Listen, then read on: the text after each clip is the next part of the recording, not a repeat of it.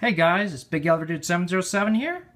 This is going to be system test number 3 with the Potter PFC-6006 fire alarm control slash sprinkler monitoring panel. Still using the same pole station, but this time I'm using a Simplex 2903 light plate with a Simplex 4051 horn in it. So as with that said, this is going to be loud. I have four troubles. Let me see what they are. Treble and NAC shorted. I don't think that would happen because the, I when I first tested it, it worked out fine. So here we go. Never pull a real farm unless there's a real emergency. So here we go. Three, two, one.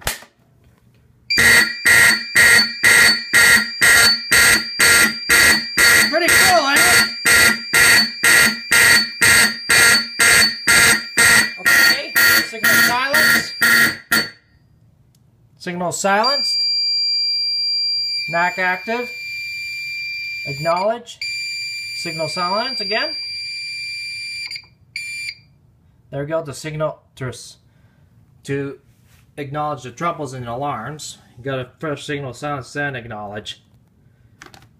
So where my keys? There they are. So we're set the pull station. I don't know why it's shorted, but I think it should be fine. Because it worked okay. So when we reset the pull station. It's a bit of a pain to reset sometimes. Open up, buddy. Come on. Got a phone call. Come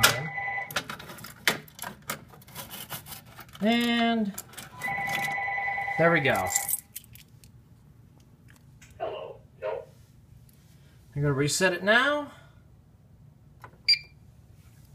System resetting. I don't want to be shorting out though, but it looks fine to me. Maybe it's just the panel.